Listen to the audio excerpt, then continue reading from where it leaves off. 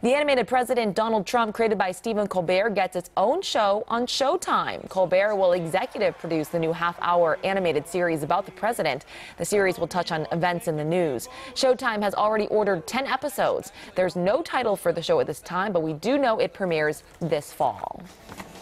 Catch Late Show with Stephen Colbert weeknights 11:35 right here WJZ. Trump's the best thing I ever had, Stephen Colbert.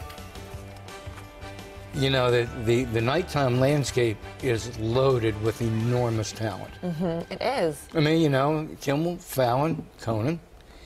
And Colbert came from a little more politically satirical realm. Yes, a different area. And there wasn't a whole lot of shaking going on mm-hmm. until politics became glued to the front page. Now he has so much material to work with. Yeah, and it's working, and the audience is responding. Yes. It's very cool.